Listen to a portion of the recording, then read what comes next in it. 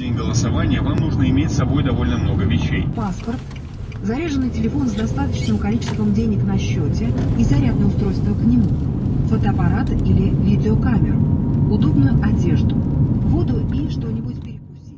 В России сегодня президентские выборы. Ровно в полночь по московскому времени свои двери для избирателей в России за рубежом распахнули избирательные участки. Путин 92,7. Ну, ты видишь, да, вот, не знаю, у меня вот не один знакомый, вот я сегодня там 30 человек спросил. Отдали помещение туда. Значит, вы зачем? Я сказал, вы что делать-то, не пойму. Почему мне снимать без моего разрешения? Вы находитесь на территории территориальной избирательной комиссии. Вот, комиссия. Вы кто вообще? Я не знаю, вы меня прошу.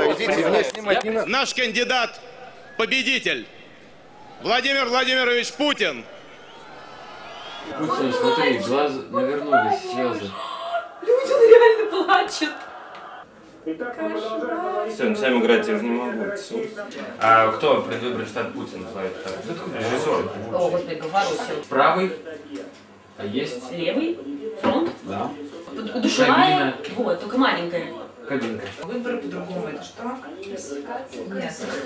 Нет, ты, ты, ты что, пришла и что сделала? Ну просто подпишитесь, потом отдадите. А как? Это же не моя, не моя зона. Я с седьмого отдела вообще полиции. Я приехал сюда, чтобы смотреть здесь, как что к чему проходит. Не надо меня снимать, еще раз говорю. У меня законное разрешение Ну есть. и что за закон? Вы зачем меня снимаете? Идите там снимайте. 8 Плюс плюс 10. 10, 18, Плюс 20. Тут Да. 35 и 41. Это 76, 86 и 20. 106. Закрываются двери ленинской администрации, и люди, которые представляются как Чоп Гордон, начинают а, не пускать кого не надо и выгонять тех, кто лишние.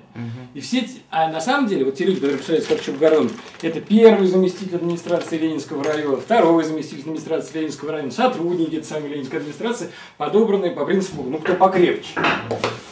Знаете, мне кажется, лучше, чем заниматься мастурбацией на площадях, лучше идти заниматься благотворительностью. Проблема в том, что, э, скажем так, выхлоп от занятий благотворительностью, он намного более низкий, чем от мастурбации на площадях. Вопрос в том, что де- детей от того, что будешь отказников, от того, что будешь делать это, меньше не, будет становиться.